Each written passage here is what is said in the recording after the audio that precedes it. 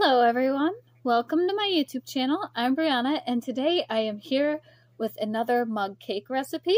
This recipe is a pancake in a mug because it's just like sometimes I want a pancake and I don't want to make like a million pancakes. So let's get into this video. First, we start out with a micro microwave safe mug. And I find out that these tall, skinny like microwave safe ones work the best. So, first ingredient is one fourth cup of flour.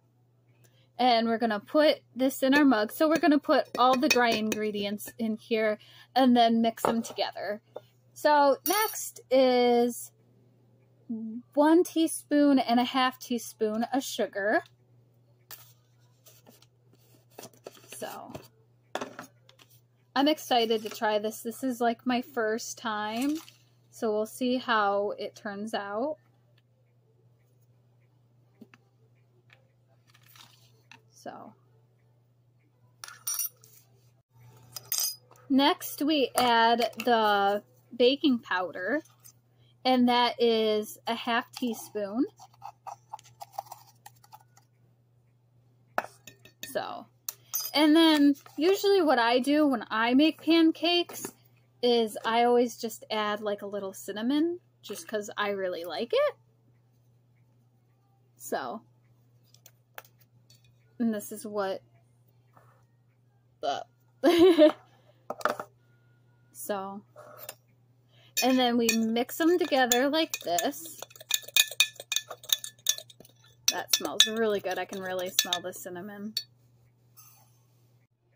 Next, we are adding the wet ingredients. So you can use um, milk or water for this step, and it's three tablespoons of milk or water. So, but I'm using milk myself just because I don't want to add water. I prefer milk whenever I've made pancakes.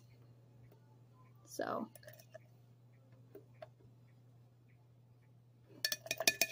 So after that step, we then add a half teaspoon of vanilla.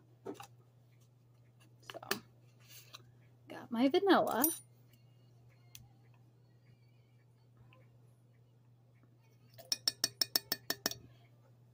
And then we mix that all together.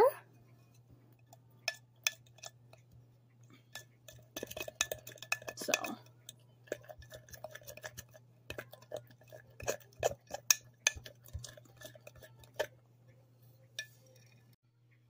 So the consistency of it is it's quite thick.